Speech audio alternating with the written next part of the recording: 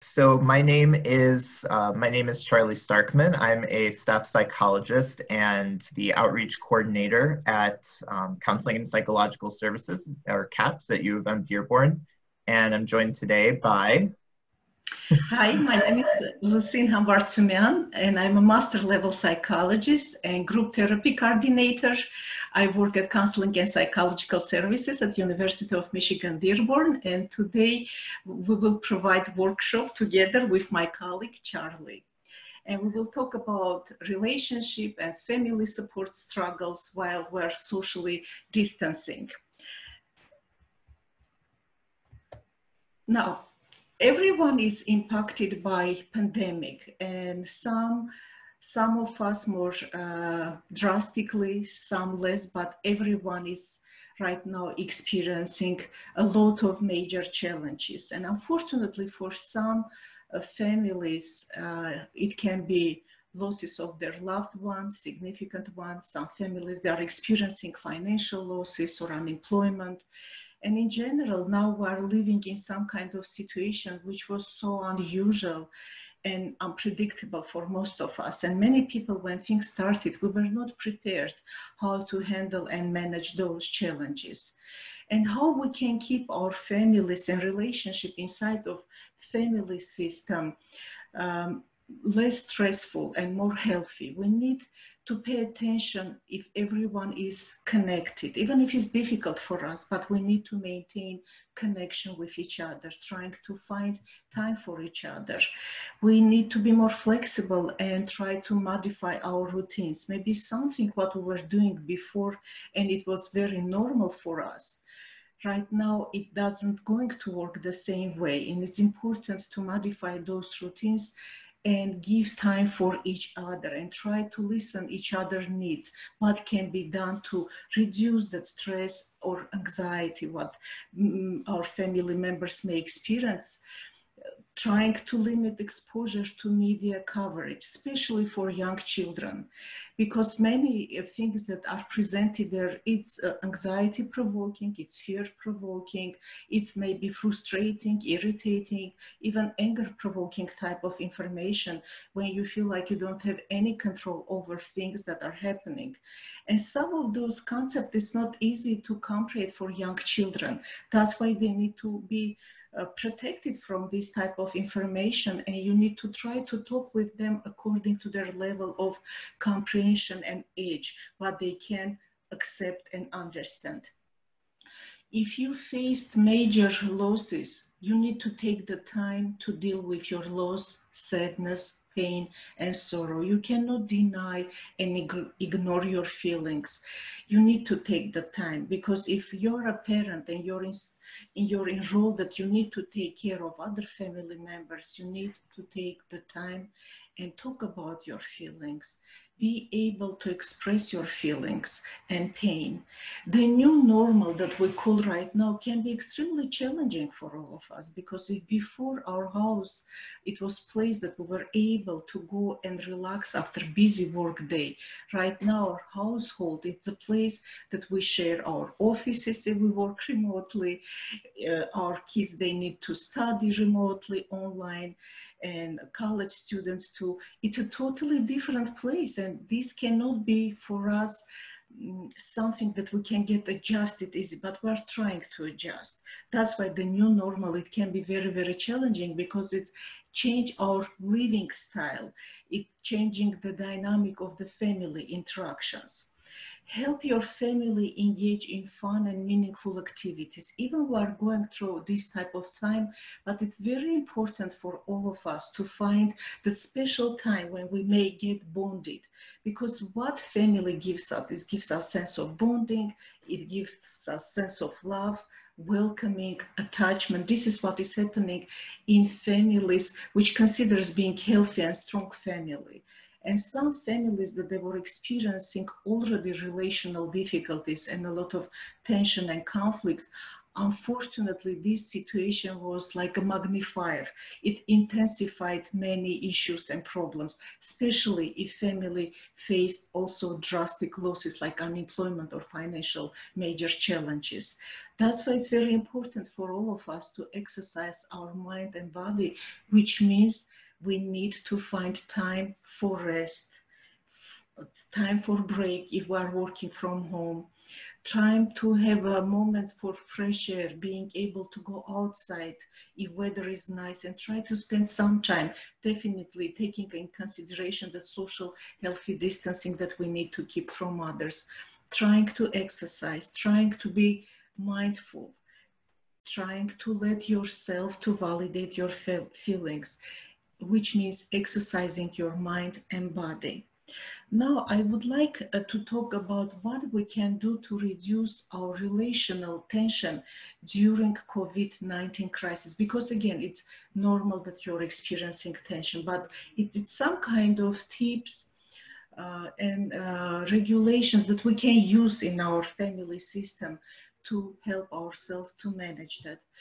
First, we need to try to acknowledge that time alone can be healthy and normal it doesn't mean if you are trying to spend time alone, it's wrong. No, it's normal. And if your family members tells you that they would like to have the time it doesn't mean they they are rejecting you. It doesn't mean they don't want to spend time. No it's their need for solitude. Everyone has a need to be alone for some time. And in families we know it's a time when we are together. It helps us to have that sense of togetherness. And it's time when we are alone. And before when we had our life, this is how it was because we were spending some time at work, at school, in colleges, and during evening hours, uh, weekends we were together. But now we're always 24 hours seven days we are spending time in the same space. Recognize that you can be overly sensitive to small irritations that now you're reacting differently than before. Your emotions sometimes can be a little bit uncontrollable and you you're showing that reaction.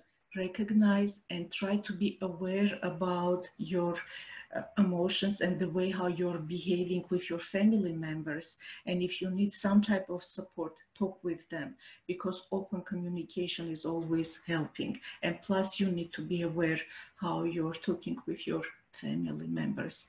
Look for ways to be constructive. Yeah it's very difficult time but instead of always uh, noticing some kind of negative things, what is happening inside of the family and outside. Try to see what is there that you think you can manage. Because we need to try to think that our busy life and hectic life that all of us we have, maybe for some uh, people and not maybe some, I think for many people it gives opportunity to spend more time with their children now they don't need constantly to run for different activities when they are also tired. Now they can have some quality time with each other. Try to notice those things with all those changes. What is there that your family can benefit? Acknowledge the positive action of others if someone is helping you and you didn't ask like your child or your spouse try to acknowledge this, show your appreciation, show your gratefulness. If you know that you have done something wrong, like you overreacted or you were not as fair and you were critical or judgmental toward your children or spouse, apologize. The power of apology can improve many things when we're experiencing tension and when we're under the stress. And honestly talk that it was reaction because you were triggered, you were going through stresses. That's why you were unfair or judgmental toward your child. Talk about those things because it will help to improve tension. Use time out to stop escalation of the conflict. If you feel like the conversation is not going the right way and both you are trying to blame each other, accuse each other, or judge each other, and you feel like you are not able to solve the issue, please take the time for 30 minutes. For everyone is different, maybe more than 30 minutes. And when you will feel like all those escalated emotions, they are a little bit coming down, maybe this is the time when you can think how you reacted, how you behaved. And if you're able right now, go back and talk about that issue that was such a heated, uh, which created heated conversation for all of you. Remember that knowing, uh, yeah, remember that knowing people all your life doesn't mean understanding them.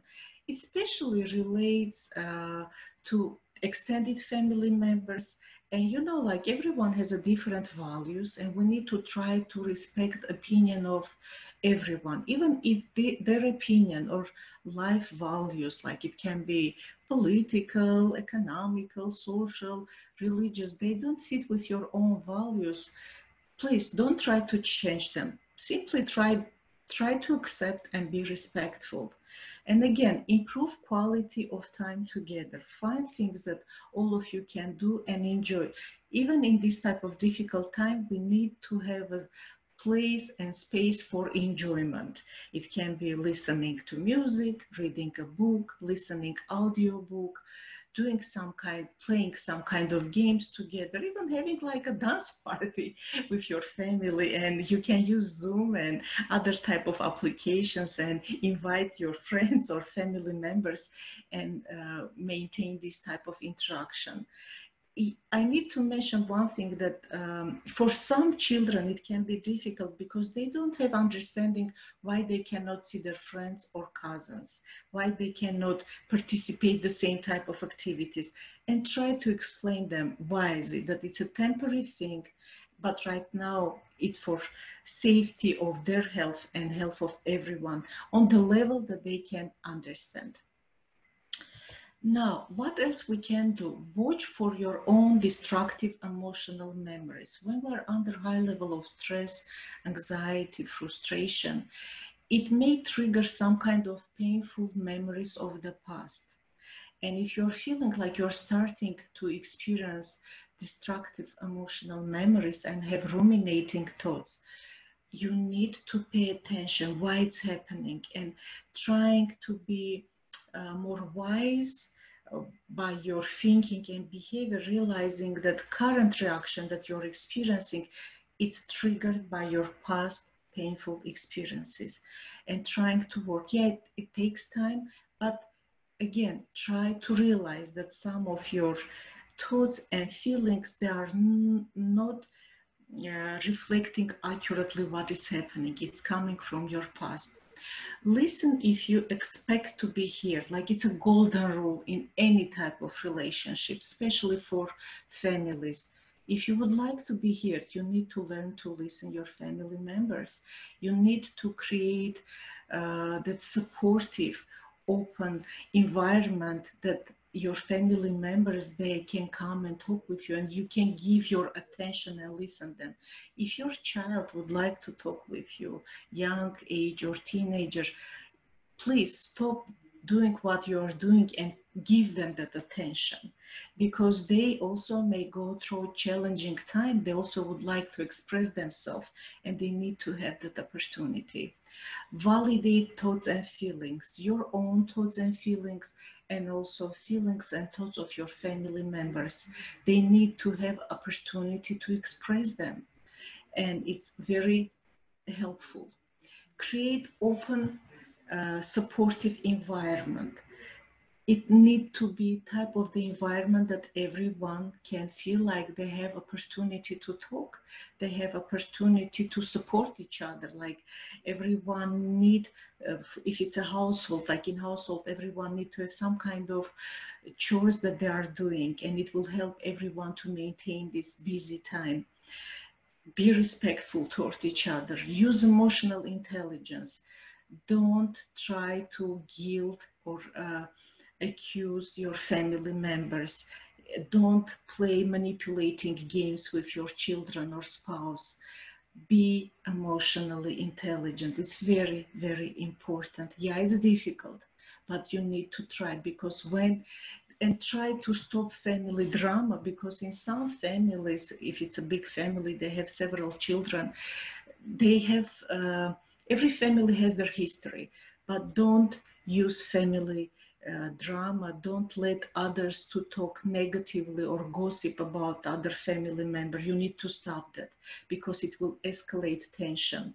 Yeah, everyone is different, even if you're in same family, but your children may have different values than you have, and you need to be able to respect that and give them space and give them opportunity for their personal growing.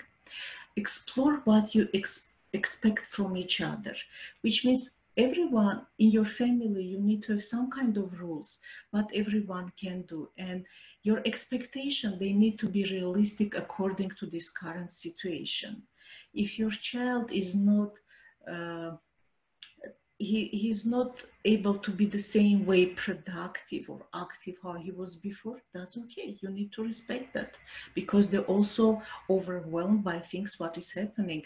They're also overwhelmed by situation that they are spending most of the time in the closed space with uh, their family all the time and they don't have opportunity to maintain their activities what they had before cherish every stage of your life and each family member. If someone is a, like all of us were passing through stages in our development, in our family development, it's very important to cherish and acknowledge those uh, stages and celebrate those changes and be respectful.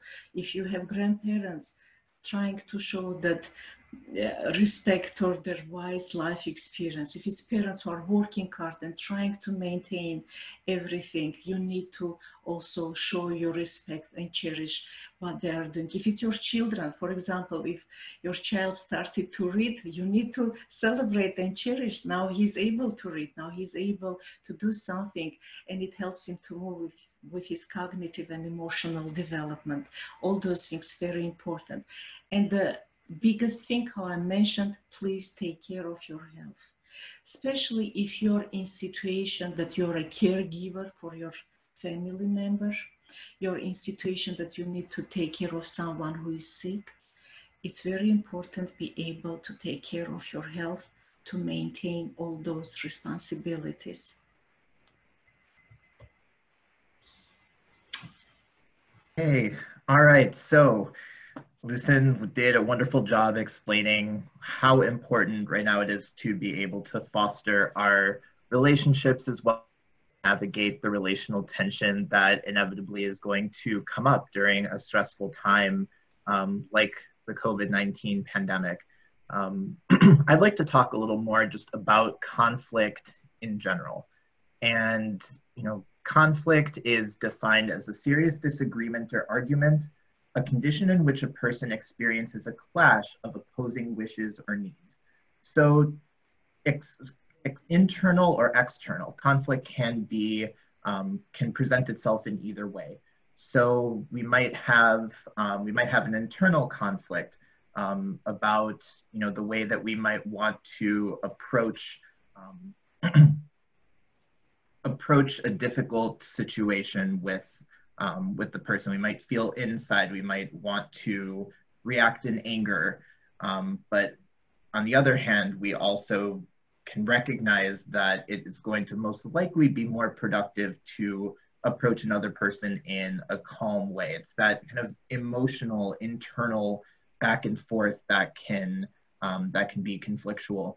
Um, the external conflicts are the conflicts that happen at home with our families every day whether someone's taking a sibling might be taking too long in the bathroom or um, you know you needed something out of uh, you need something out of the refrigerator and someone uh, someone took it or whatever it might be. We are experiencing conflicts all the time. And you know it's not just right now at home. We also know that we can experience conflicts at work with, um, with our colleagues or perhaps a boss or a supervisor. Um, we might experience conflict in the academic domain. So that might be if we're working on a group project that can often bring up a lot of conflict.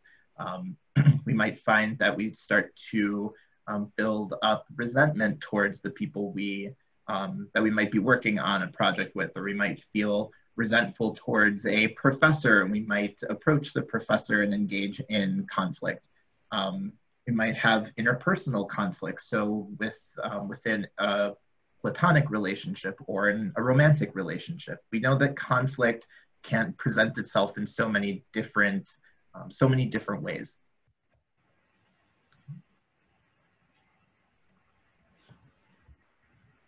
Okay, conflict in conflict in relationships. Excuse me. So conflict is a normal part of any relationships and especially close relationships because when we're you know when we are with people that matter to us people that that are extremely important to us we often you know we often find that we take what they say to heart. It's important to us. And as a result we might be even more emotionally attuned to what they're saying and we might find that it's easier to start to get into um, it's easier to start to get into a back and forth. We might also find you know we hear the saying like you know how to push my buttons right? When we're around people who know us better than anyone else they know exactly what to say that can make us tick right? So especially right now spending so much time at home and if you're living with um, siblings or a partner or your parents you're around people who know you better than most. And it's inevitable that this is a time where there's going to be an increased sense of conflict and tension in these close relationships. But it is also important to remember that conflict is normal. Ultimately, two people or more are not going to agree or share the same perspective or behave the same way in a given situation. So we have to be able to normalize and accept that conflict is going to happen in our relationships. We can also keep in mind that conflict can be a powerful motivator to help make our relationships closer. And what that means is that we can express the way that we feel about issues within the relationship that need to be addressed. So that could be, for example, we might notice that um, a partner seems more distant and that might be of concern, right? And we want to be able to talk to our partner about what we're seeing, right? We might be um, we might be in conflict with a parent who might not let us go out and do something with a friend, and this is you know especially difficult when we're living at home. Even if we're you know technically adults, it's that again that internal conflict of I want to be able to do my own thing but at the same time, I also know that I'm living with my parents and I'm living under their roof and it's their rules, right? So it's kind of that back and forth, that internal, that internal conflict. Right? But ultimately, relationships can become closer when we feel heard, when we are able to communicate with others in a way that helps us to feel understood and taking steps effective actions towards being able to mend and heal from conflict. So we can also recognize that while conflict is normal, it can also start to become toxic, right? And that is when we know that we have to start to take effective action towards healing that relationship. And conflict resolution, as Lucinda talked about, she shared a lot of really good relational um, strategies to reduce relational tension. And we also know that by practicing effective conflict resolution strategies with the people in our lives that matter most to us, we're moving toward building a relationship that is founded on respect and assertiveness, right? And I will talk a little bit more about um, about ways to improve that um, that objective effectiveness in our next slide. But it's important to remember that conflict is extremely, it can become extremely toxic. And when conflict gets to a point where it has evolved into abuse, that is that is serious and that is when you should be reaching out for extra help and support. So, conflict resolution. Conflict is common and even though it's common, we're not often taught the best ways to effectively resolve it. And there are a lot of benefits that can come from resolving conflict effectively. Ultimately, this allows us to get our needs met. And when our needs are met, we're going to be functioning better in so many different life domains. We're going to feel more competent in terms of how we're functioning in our relationships.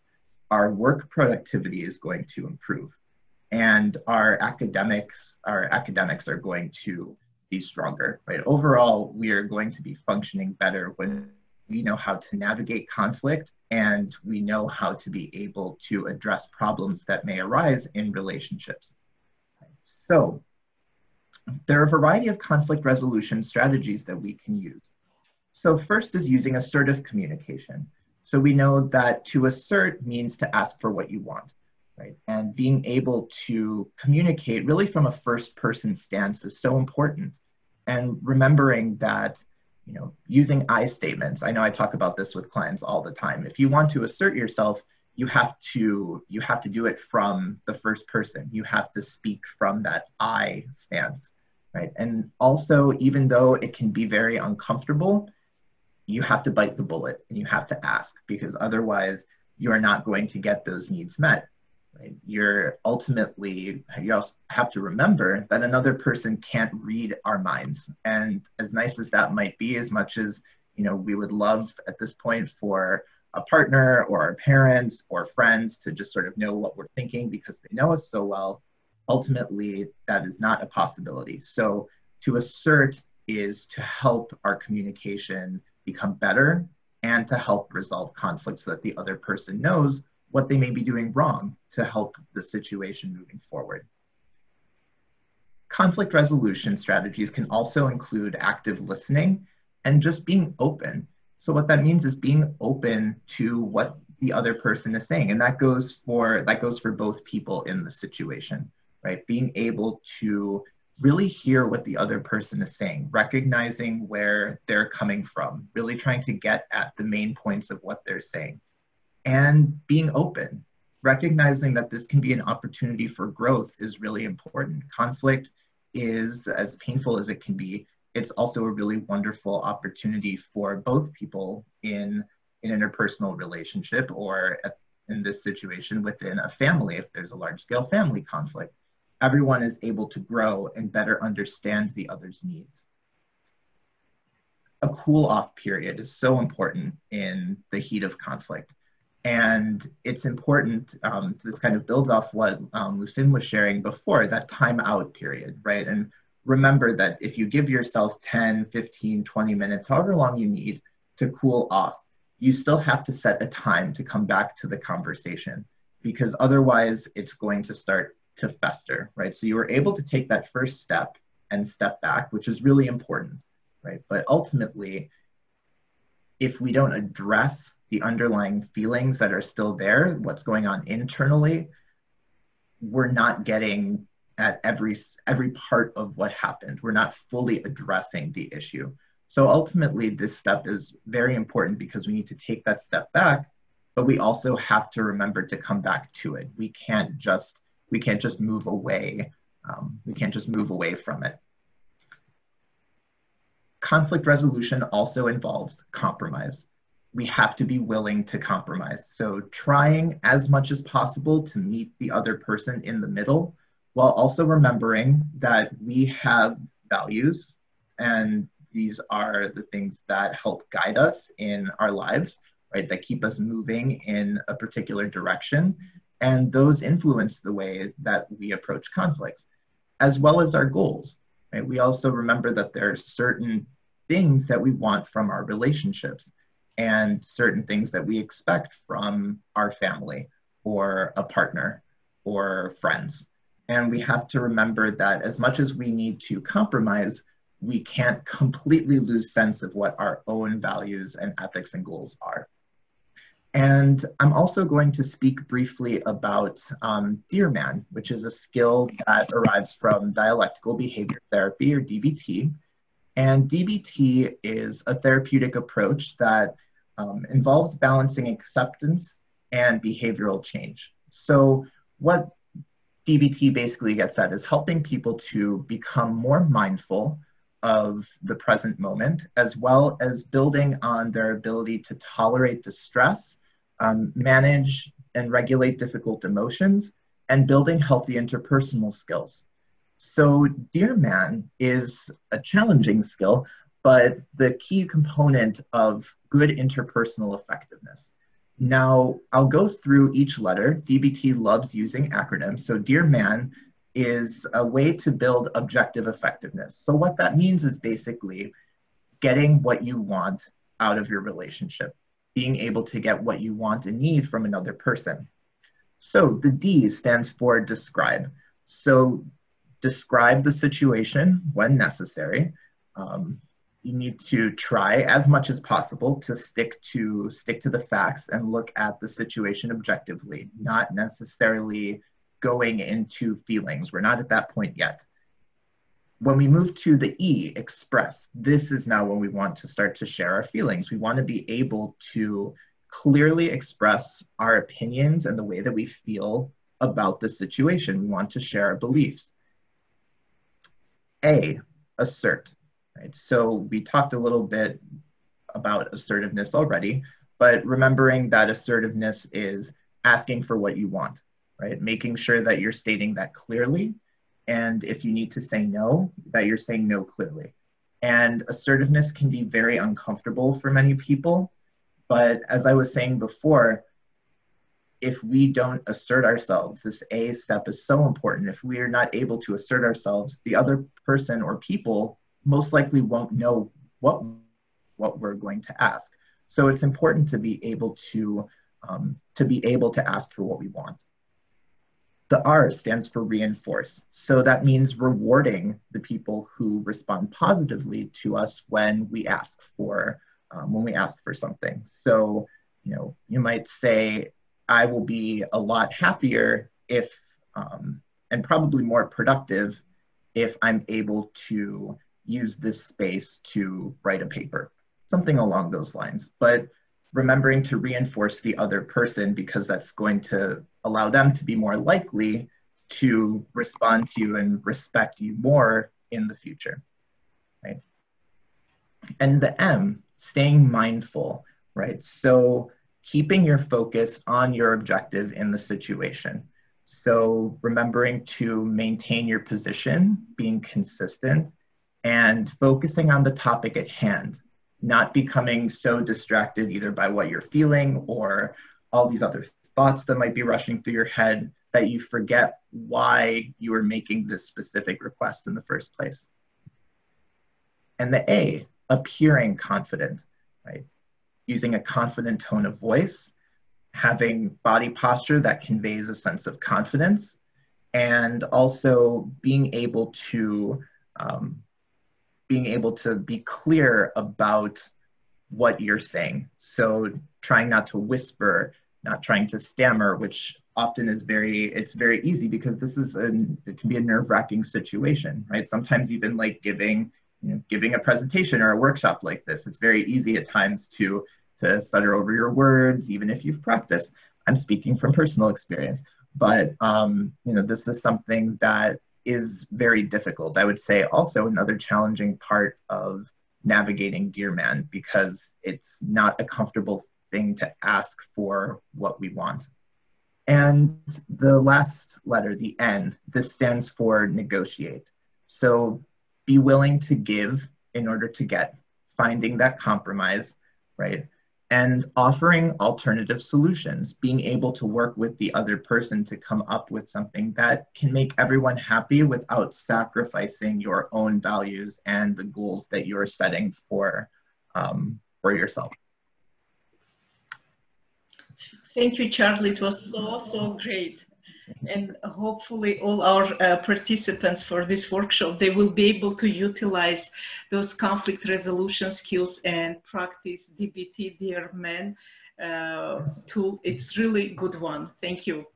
And I would like uh, to talk about some uh, qualities of healthy and strong families which is common for any type of family because you know we have different type of families. We have a nuclear family we have extended family we have blended family when you have a step parents or step children we have a single parent family. But all of those different type of families if they are healthy and strong they share some kind of common qualities. And it doesn't mean they are not experiencing conflicts everyone is experiencing conflicts and how charlie mentioned but conflicts it's opportunity to grow. It's opportunity to solve something. It's opportunity to have better understanding of each other.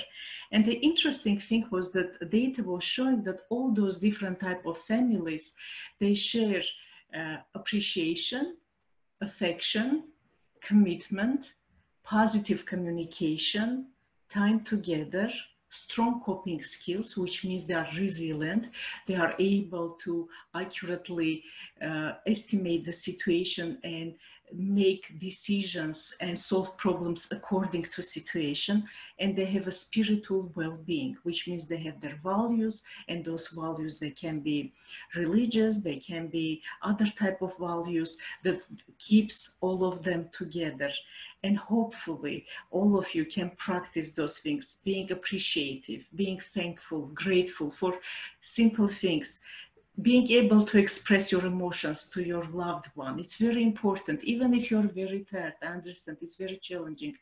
But if you can simply kiss your child give a hug or give that laugh or smile when you're busy because even non-verbal language can show your child that your child is welcomed and loved. It doesn't mean when we're busy we cannot do be having the sense of commitment being loyal toward your family members trusting them because being loyal they will trust you too. Using that positive communication that you're not only judging or criticizing or constantly negative but you're able to acknowledge their accomplishments even if they're very small accomplishments. How i mentioned if your child was able to learn to read and he's happy he would like to come and read. And if you feel like so slow i will read more quickly. That's okay give a chance to express your child their qualities the time of together how i mentioned do different type of activities which will make all of you happy. You can laugh together and if it's a, some kind of sad moments you can cry together and be there like providing that shoulder to each other. This is what i was trying to uh, share with you and uh, thank you very much that you joined us. And probably we are done with our workshop and uh, Charlie will share about our resources.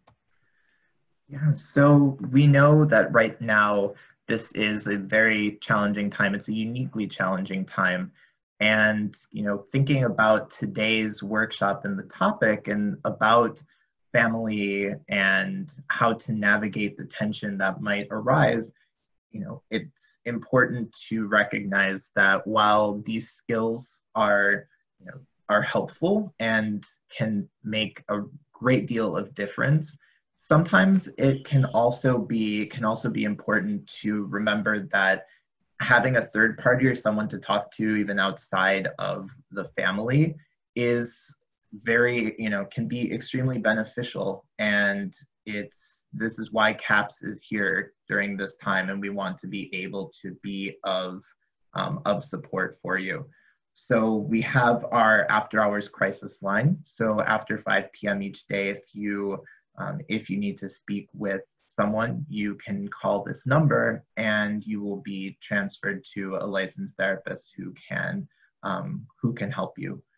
Um, we also have a link to our remote workshops. So every workshop that CAPS has put on um, since the middle of March, I believe, since we began our remote um, remote services, is up on our page. You can watch them at your leisure when you are free if you can't tune in live to the workshops.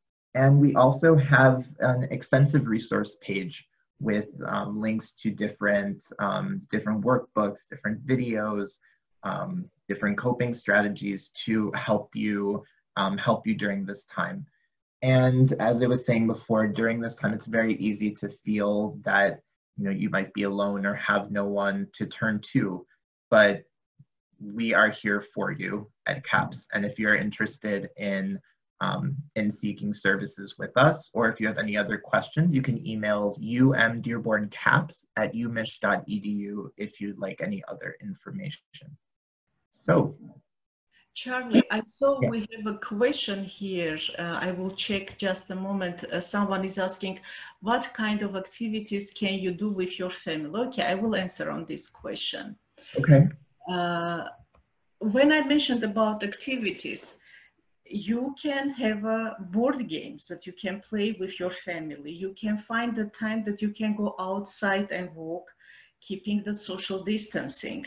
You can have a time when you can read or discuss books, watch a movie, things that we can do right now. You can have a time when it's a time you're joining your friends or your children are uh, joining like for virtual connection with their friends or they make a phone calls they talk that's okay give them the time you can uh, celebrate for example if uh, something happened like graduation uh, you can celebrate graduation with your family and virtually invite your extended family members, grandparents, uncles, aunts, if they can join. Yeah, it's not the same how it was before, but it gives us opportunity to keep and give that sense of togetherness and have activities. It can be some kind of creative projects, like when you're, you can draw, you can paint, like everyone can do something what they like to do. And if it's, uh, again, good movie time, you can sit and discuss. It's a board games when families are playing together. That's why you can have your family meetings. You can discuss and ask everyone and see what everyone will like and enjoy to do. It need to be like open discussion opportunity that you are not forcing what you like to do, but you're listening everyone and trying to make that process enjoyable or simply how I mentioned, maybe it's an exercise time when you're trying to do uh, yoga together or Tai Chi or simply like exercising.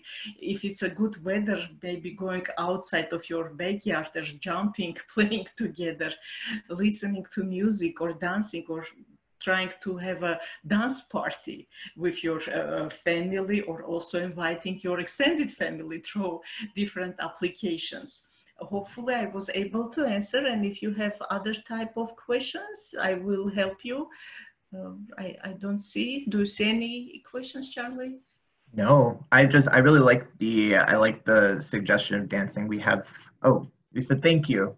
Thank you. We're, we're glad that you were able to tune in and we hope that our, our information was of benefit, um, of benefit to you.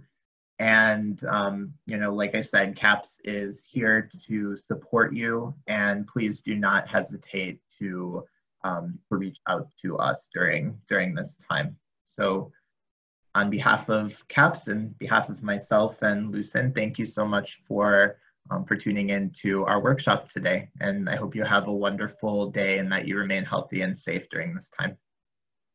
Thank you very much that everyone joined us. Have a great day. Bye bye.